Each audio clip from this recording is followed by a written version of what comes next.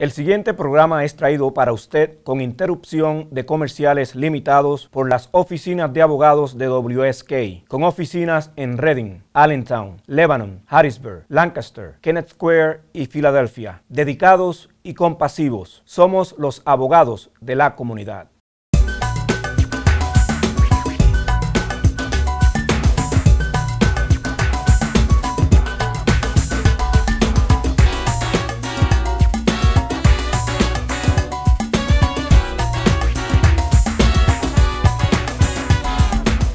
Amigos y amigas, bienvenidos una vez más a este nuestro programa Estado Latino. Su servidor Norman Bristol Colón, acompañado de... Gracias, con aquí una servidora para ustedes, Gabriela Raful. Y en el día de hoy le traemos otro tema muy importante para todos nosotros y uno de mis temas favoritos. Es el tema sobre los negocios. Y digo que es uno de los temas favoritos porque ¿qué latino no es negociante? Y, y eh, Gaby, tenemos que mencionar también que es el desarrollo de nuestra comunidad principal con un poder adquisitivo de sobre un trillón de dólares. y hoy nos acompañan dos figuras fenomenales dentro de los negocios del estado de Pensilvania, a quien le damos la más cordial bienvenida a nuestro programa Estado Latino, Lenin Agudo, director del Centro de Recursos para Latinos en la Universidad de, de Kutztown, y nuestro director ejecutivo de la Cámara de Comercio del Lehigh Valley, Álvaro Díaz. Bienvenidos ambos. Muchísimas gracias. por estar aquí con nosotros. Norman, Gaby, es un placer compartir con ustedes y con todo este público tan querido de Pensilvania. Eh, Lenin, vamos a comenzar inmediatamente. Vamos. Hablamos de este poder adquisitivo, pero ¿cuáles son los problemas principales que nuestros pequeños negociantes latinos están confrontando a nivel de política pública o a nivel de política en general para el desarrollo de pequeños negocios en el estado de Pensilvania? Claro que sí, el poder adquisitivo es uno y cuando hablamos del poder adquisitivo hablamos de los consumidores. Los latinos somos muy buenos consumidores, como tú dijiste Norman, un trillón de dólares en los Estados Unidos, pero ahora estamos enfocados como hispanos en desarrollarnos económicamente. Esto es algo que está pasando en Pensilvania, esto es algo que está pasando en la ciudad de Reading, en Allentown y en todas las ciudades que tienen gran cantidad de latinos para que recordarles un poquito darles un poquito de sabor los latinos en los Estados Unidos están abriendo negocios nueve veces más rápido que cualquier otro segmento de negocios, increíble. O sea que somos el motor de la economía estadounidense. Somos el motor de la economía estadounidense, y aparte de eso, no solamente por lado de consumidores, pero también en ciudades como las que tenemos en Pensilvania, eh, nosotros somos el motor de esas ciudades. Y parece que eh, se está ya creyendo de esa manera porque hay muchos alcaldes y, personas del sector público que se dan cuenta que con la comunidad latina el Estado progresa. Ahora bien, dijiste que estamos abriendo negocios nueve meses más. Pero háblame un poquito de las estadísticas de las latinas abriendo negocios. Oh, lo que yo digo, las latinas rock. Eso, eso, es, el, eso es un tema principal para Gaby, así que... Claro, los derechos de la mujer y, el trabajo de la mujer que se sienta en la comunidad. Cuéntame sobre esas estadísticas. Las latinas rock. Lo digo en inglés y en español porque en realidad las latinas en todos los Estados Unidos están abriendo negocios cuatro veces más rápido que los latinos varones. Así es que nosotros los latinos varones tenemos que apurarnos un poco más porque se nota que ellas están sobrepasando esa estadística entre hombre y mujer. Por razón mi mamá sabía llevar también los libros en mi casa. Así Es. O sea que eso comienza en la casa. Exacto. Álvaro, ¿cómo están eh, los negocios en el, condado de Lehigh? Háblanos un poquito del trabajo que tú haces y cómo ves el Estado latino.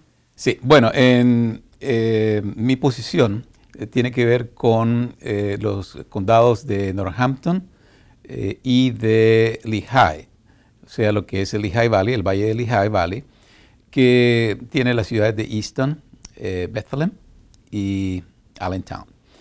Realmente hay, diría yo, una explosión de, hasta cierto punto, de negocios latinos en el Lehigh Valley.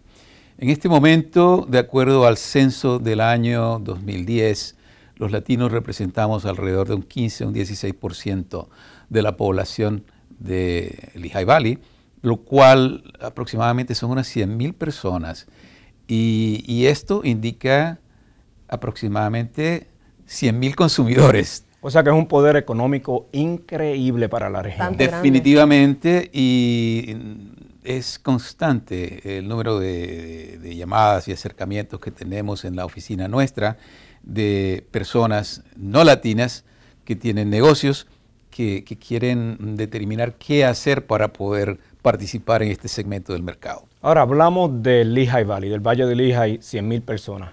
Lenin, tú estás viajando al Estado en el desarrollo de pequeñas empresas. Habemos 800.000 latinos. ¿Cuántas empresas latinas hay en el Estado de Pensilvania? Esa es una excelente pregunta. Eh, no puedo contestarte en realidad en la cantidad de, porcentaje de empresas latinas que tenemos. Es algo que estamos tratando de averiguar, pero sí te puedo decir que, por ejemplo, en las ciudades como la ciudad de Reading, tenemos aproximadamente 5.000 empresas latinas de un total de 9.000 empresas que existen en la ciudad en sí. Así es que estamos aproximadamente un poquito más del 50%. Eh, porque somos una ciudad también que, así como Allentown, tenemos 86 mil personas, pero 58 mil somos latinos. Si es que estamos creciendo rápidamente. Ahí está el Estado latino, Norma. Ahí está, la ciudad de Reading se convierte en el Estado latino y también la región del Lehigh Valley. Eh, y por, en este crecimiento económico, eh, las cámaras de comercio juegan un papel muy importante.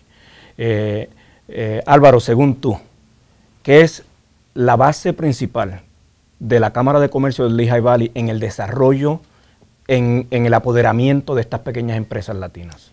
Eh, muy bien, nosotros lo que tratamos de hacer es brindarle a, nuestros miembros y al público en general, realmente, eh, oportunidades para que ellos puedan relacionarse y eh, tener desarrollo económico a través de actividades que hacemos como talleres o seminarios que son muy frecuentes en nuestra organización. Precisamente hace un par de semanas contamos con la presencia de Lenin Agudo en, en Bethlehem, quien vino y dictó una, una, conferencia que fue muy bien apetecida. Lo que es importante de esa conferencia fue que por primera vez la hicimos en español. Ah, oh, y entonces, hasta el día de hoy todavía estoy recibiendo no solamente felicitaciones, sino eh, pedidos de volver a hacer otras parecidas. O sea, que, o sea que eso fue una presentación con acento y con la ñ. Exactamente.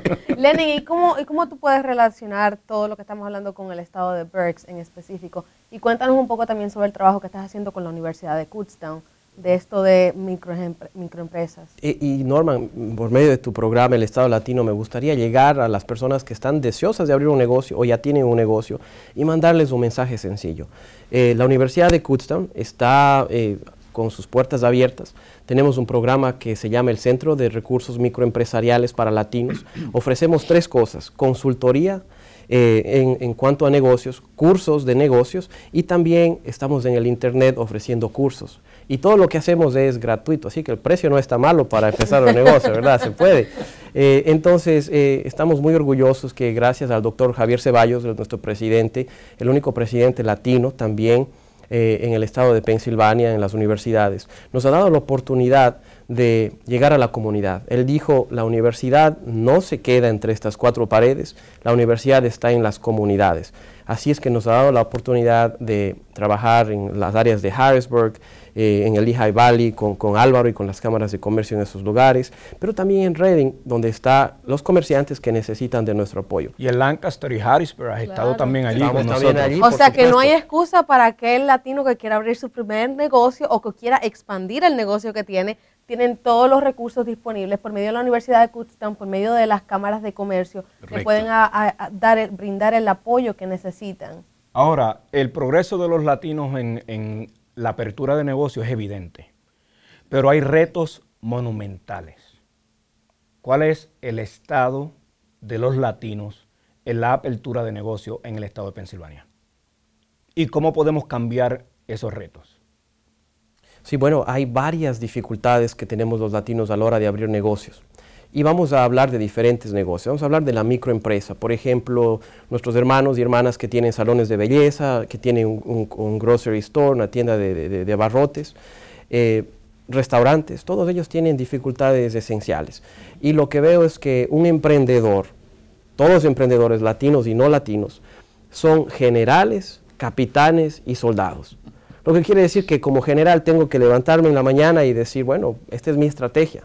Pero como capitán tengo que saber cómo tengo que hacer las operaciones y como soldado tengo que limpiar el negocio antes de irme. Entonces, eh, debido a que nosotros no tenemos la oportunidad de mercadear todavía a la grande comunidad, ese es un problema, nos restringimos a trabajar con la comunidad hispana. Wow. Y Álvaro. Bueno, uno de los problemas eh, serios es el problema de financiación.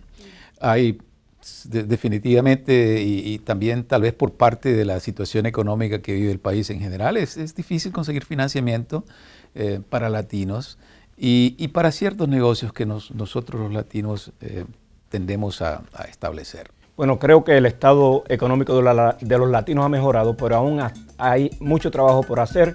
Sigan aquí en nuestro programa Estado, Latino.